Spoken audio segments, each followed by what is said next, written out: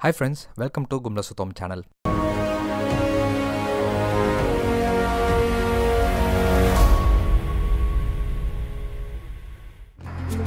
அந்த வண்டி தான்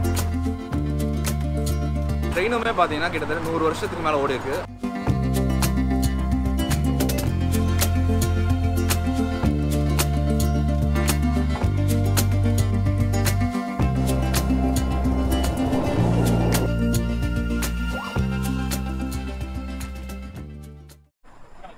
ஹலோ மக்களே வெல்கம் டு கும்லா சுத்தம் சேனல் இன்னைக்கு நம்ம பார்க்க போறது ஸ்டாக்ஹோம்ல இருந்து ஒரு பதினஞ்சு இருபது கிலோமீட்டர் தூரம் ஒரு டூரிஸ்ட் அட்ராக்ஷன் தான் போக போறோம். இதுல ஸ்பெஷல் என்னன்னு பாத்தீங்கன்னா சால்சே பானன்ங்கிற ஒரு ரூட்ல பழமையான ஒரு ட்ரெயினில் தான் போக போறோம். இது வந்து வருஷத்துக்கு ஒரு நாலுல இருந்து ஆறு வாரம் மட்டுமே வந்து ஓடக்கூடிய ஒரு ஸ்பெஷல் ட்ரெயின் இந்த வருஷத்துக்கு இதான் லாஸ்ட் வீக்குன்னு சொன்னாங்க. அதனால நாங்கள் கண்டிப்பாக மிஸ் பண்ணக்கூடாதுங்கிறதுக்காக வந்திருக்கோம். இந்த வீடியோல பல விஷயங்கள் பேச போறோம். ட்ரெயினோட வரலாறு போக போற இடத்தோட ஸ்பெஷாலிட்டிஸ் என்ன அங்க என்னென்னலாம் பண்ணலாம் சொல்லி எல்லா விஷயமும் சொல்ல போறோம். வீடியோ முழுசா பாருங்க. நம்ம சேனலுக்கு முதல் முறையாக வரீங்கன்னா எங்களுடைய வீடியோஸை உடனே பார்க்க சப்ஸ்கிரைப் பண்ணுங்கள் அதோட அந்த பெல் ஐக்கானும் கிளிக் பண்ணுங்கள் இந்த ட்ரெயின் பற்றியும் ஸ்டாக்ஹோமில் இருக்கிற மற்ற போக்குவரத்து வசதிகளை பற்றியும் நாங்கள் ஏற்கனவே தனியாக ஒரு வீடியோ போட்டிருக்கோம். அதோட லிங்க் கீழே டிஸ்கிரிப்ஷனில் கொடுத்துருக்கோம். பார்க்காதவங்க தவறாமல் பாருங்கள் இந்த ரூட்டில் இருக்கிற மொதல் ஸ்டேஷன் ஹென்ட்ரிக்ஸ் தால் இதுக்கு முன்னால் இந்த ரூட்டில் ஸ்லூசன்லேருந்து தான் ஓடிட்டு இருந்துச்சு. ஆனால் இப்போ அங்கே மெட்ரோ வேலை நடக்கிறதால இன்னும் நாலஞ்சு வருஷத்துக்கு இருந்து ஆரம்பிக்கும். இங்கே வரணும்னா ஸ்லூசன்ல இருந்து பஸ் எடுக்கணும். அஞ்சு நிமிஷத்தில் வந்துடலாம் வணக்கம் மக்களே. இப்போ நம்ம போக போற இடத்துக்கு பேர் வந்து சால்சே பாதத் இது வந்து ஸ்டாக்ஹோம்ல இருந்து கிழக்கு நோக்கி இருபது கிலோமீட்டர் தூரத்துல இருக்கு. இந்த பாரம்பரிய ரயில் ஆயிரத்தி தொள்ளாயிரத்தி பன்னெண்டுலேருந்து நூற்றி பத்து வருஷங்களாக ஓடிட்டுருக்கு ஆரம்பத்தில் நிலக்கரி என்ஜின்கள் மூலமாக இயக்கப்பட்டுருச்சு. அறுபது எழுபதுகளில் இதை மின்சார ரயிலாக மாற்றினாங்க இந்த ரூட்டில் ஒரு சில குகை வருது. இதில் வர்ற அறநூறு மீட்டர் நீளம் கொண்ட ஒரு குகை தான் அந்த காலத்தில் ஸ்வீடனோட நீளமான குகையாக இருந்துச்சாம். இந்த ட்ரெயின் வந்து ரொம்ப சின்ன ட்ரெயின் தான். ரெண்டே ரெண்டு கம்பார்ட்மெண்ட் தான் இருக்கு. முதல்ல போற இதில் வந்து பார்த்தீங்கன்னா கேஃப்டேரியா வச்சிருக்காங்க. ஸோ உங்களுக்கு டீ காஃபி ஸ்நாக்ஸ் ஏதாவது வேணால் நம்ம இவங்ககிட்ட வாங்கிக்கலாம்.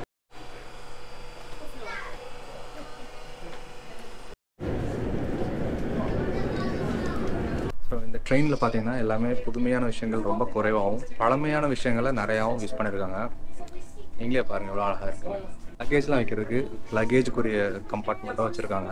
மேபி நம்ம டூரிஸ்ட்டாக வந்தால் தேவைப்படாது பட் ஸ்டில் அதுவும் அவங்க ஹேண்டில் பண்ணியிருக்காங்க ரொம்ப வீட்டுக்குள்ளே போகிற மாதிரி எனக்கு ஃபீல் ஆகுது நிறைய இடங்கள்ல. ஸோ இந்த சீட்டெல்லாம் பார்த்தீங்கன்னா அந்த காலத்து சோஃபா மாதிரி ஒரு சின்ன உடன் பலகையில் லைட்டாக ஒரு குஷன் வச்சுருக்காங்க.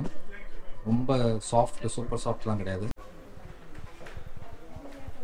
கைப்பிடி கூட ரொம்ப பழமையான ஒரு ஸ்டைலில் தான் இருக்குது பயன்படுத்தியிருக்க மரப்பலகைகளும் பார்த்திங்கன்னா ரொம்ப அருமையாக இருக்கும். ட்ரெயினோட இன்ஜின் ரூம் உங்கள் பார்வைக்காக. பழமையான விஷயங்களை அப்படியே மெயின்டைன் பண்ணுறாங்க இதை பார்க்குறக்கே ஒரு நல்ல ஃபீலிங் கொடுக்குது.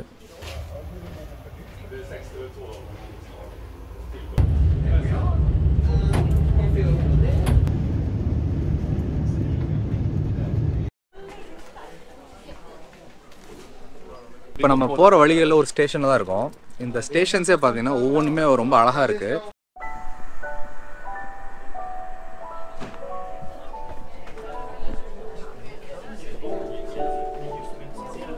இன்னொரு கம்பார்ட்மெண்ட் வந்துட்டோம். முன்னாடி இருந்து ட்ரெயின் டிரைவர் விடலை.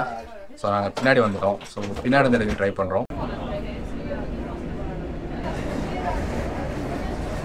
இப்போ இந்த ட்ரெயின் பார்த்தீங்கன்னா போகிற வழிகள் எல்லாமே வந்து மலைகளும் நல்ல அழகான காடுகளும் ரொம்ப பசுமையான ஒரு பாதையில் தான் போகுது. ஸோ கண்டிப்பாக இந்த ட்ரெயினில் பயணம் பண்ணுறதே வந்து ஒரு புது அனுபவமாக உங்களுக்கு கண்டிப்பாக இருக்கும்.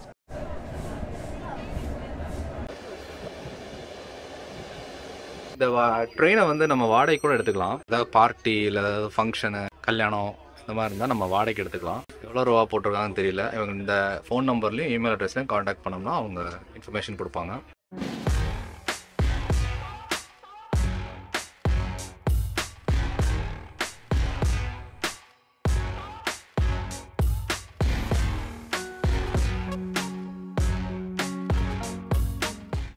சால்சியோ பாண்டன் வந்தாச்சுங்க இதான் லாஸ்ட் ஆஃப் இந்த ஊருக்கு சால்சே பாதன் அப்படின்னு பேர் வர காரணம் மூன்று பக்கமும் சூழ்ந்திருக்கிற இந்த உப்பு நீர் ஏரி தான் இங்கே கிட்டத்தட்ட பத்தாயிரம் மக்கள் வசிக்கிறாங்க. இங்கே அழகும் ரசனையும் கலந்து கட்டப்பட்ட வீடுகள் நிறைய இருக்குது ஓய்வு பெற்ற முதியவர்களும் கோடை விடுமுறைக்கு நிறைய மக்களும் இங்கே வராங்க. பக்கத்துலேயே கடலும் தீவு கூட்டங்களும் இருக்குது நிறைய மக்கள் சொந்தமாக படகுகளும் வச்சுருக்காங்க. அதனால் மீன் பிடித்தல் சூரிய குளியல் நீச்சல் படகு பயணம்னு பொழுதுபோக்க இது ஒரு நல்ல இடம்னு கண்டிப்பாக சொல்லலாம். இப்போ நீங்கள் பார்த்துட்டு இருக்க வந்து சால்சே பாதனில் இருக்கக்கூடிய ஒரு பழமையான ஹோட்டல் இது வந்து கிட்டத்தட்ட நூறு வருஷத்துக்கு மேலே இருக்குது இந்த இடம் டூரிஸ்ட் அட்ராக்ஷனாக ஒரு ரிலாக்ஸ் பண்ணுறதுக்கு இடமா மாற்றும் போது இந்த இடத்துல ஒரு ஹோட்டல் இருந்தால் நல்லா இருக்கும்னு சொல்லி அந்த காலத்தில் இருந்த எஸ்சிபி பேங்க் ஃபவுண்டர் வந்து நினச்சாரு. இதோட சிறப்பம்சம் என்னன்னு பார்த்தீங்கன்னா இன்னைக்கு வரைக்கும் பழமை மாறாமல் இன்னும் புதுப்பிச்சு அப்படியே மெயின்டைன் பண்ணிட்டு வராங்க. இது கிராண்ட் ஹோட்டலோட இன்னைய மெனு அது. சிப்ஸ் மட்டுமே பார்த்தீங்கன்னா தொண்ணூத்தஞ்சு குரோனர் வரைக்கும் போட்டிருக்காங்க. இதே மீட் பால்ஸ்லாம் வாங்கினோம்னா தொண்ணூத்தஞ்சு குரோனர் வருது. அது ஓரளவுக்கு பரவாயில்ல. மீதி எல்லாமே ரொம்ப காஸ்ட்லியாக இருக்குது ஹலோ மக்களை இப்போ நம்ம இந்த லேக்கோட இன்னொரு வியூவில் தான் இருக்கோம். இந்த லேக்கை வந்து சால்ட் ஹவுன் அப்படின்னு சொல்லுவாங்க. உப்பு கறிக்கின்ற ஏரி அப்படின்னு கூட தமிழில் சொல்லலாம். இந்த இடத்துக்கு ரொம்ப ஸ்பெஷல் என்னன்னு பார்த்தீங்கன்னா பணக்காரங்க ரொம்ப வசதி படைச்சவங்களாம் வந்து அவங்கவுங்க படகு போட் இந்த மாதிரிலாம் வாங்கிட்டு இதில் சுற்றி வருவாங்க. வந்துட்டு கரையோரமாக இருக்கிற கடைகள் எல்லாம் சாப்பிட்டு ரிலாக்ஸ் பண்ணுறது டூரிஸ்ட் ஸ்பாட் மாதிரி தான் ஸ்டாக்கோ மக்களுக்கு.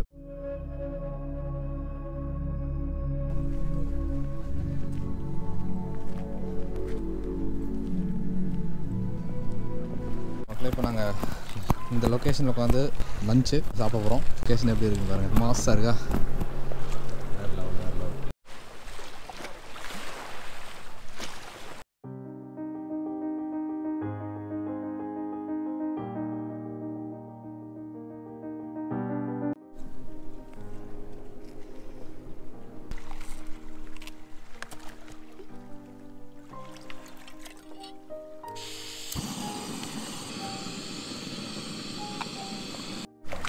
அப்படியே வெற்றிகரமாக காஃபி போட்டாச்சு குடிக்க போகிறோம் சால்சே பாத்தனில் நிறைய ஆக்டிவிட்டீஸ்லாம் இருக்குது அதில் குறிப்பாக சொல்லணும்னு பார்த்தீங்கன்னா இங்கே இருக்கிற ஒரு நீராவி குளியல் தான். ஸ்வீடிஷில் பஸ்தூனும் இங்கிலீஷில் சோனான்னு சொல்லுவாங்க. இந்த இடத்தோட ஸ்பெஷல் என்னென்னா அந்த காலத்தில் நூறு வருஷத்துக்கு முன்னாடி இருந்த நீராவி குளியலை அப்படியே மெயின்டைன் பண்ணிட்டுருக்காங்க. இங்கே நீங்கள் மெம்பராகவும் இருக்கலாம். இங்கே நீங்கள் வந்தீங்க அப்படின்னா முயற்சி பண்ணி பாருங்கள் இந்த இடத்துல வந்து அவங்க ப்ரைவேட்டாக ஒரு பீச்சும் வச்சுருக்காங்க. லேடிஸ் தனியாக ஜென்ட்ஸ் தனியாக வந்து இந்த நீராவி குளியல் வச்சுருக்காங்க. நீராவி குளியல் எடுத்துகிட்டு வெயில் படுத்து இந்த வெயிலை வந்து கொண்டாடுறது இங்கே கொஞ்சம் வழக்கமாக வச்சுருக்காங்க. குழந்தைகளோட வந்தோம்னாலும் இந்த இடத்துல ஸ்விம்மிங்லாம் பண்ணுறதுக்கு ரொம்ப அருமையான ஒரு இடம் இருக்குது இந்த தீவுலேயே ஒரு சின்ன ரெஸ்டாரண்ட்டு கூட இருக்குது இங்கே வந்தோம்னா தேவையான உணவுகள் சிற்றுண்டி எல்லாமே நம்ம எடுத்துக்கலாம். ரெஸ்ட் ரூம் கூட வச்சுருக்காங்க இன்கேஸ் நீங்கள் யூஸ் பண்ணணுன்னா எல்லா வேலையும் முடிச்சுட்டு நாங்கள் கிளம்புறதுக்கு முன்னாடி ஐஸ்கிரீம் சாப்பிட்ணுன்னு ஆசைப்பட்டோம். இந்த இடத்துல நீங்கள் வந்தீங்கன்னா கண்டிப்பாக ட்ரை பண்ணுங்கள் இந்த லொக்கேஷனில் இந்த வியூவில் உட்காந்து சாப்பிட்டது வேறு லெவலாக இருந்துச்சு. ப்ரைஸும் பார்த்தீங்கன்னா ரெண்டு ஸ்கூப் ஐஸ்கிரீமு கிட்டத்தட்ட ஐம்பத்தஞ்சு குரோனா சார்ஜ் பண்ணாங்க.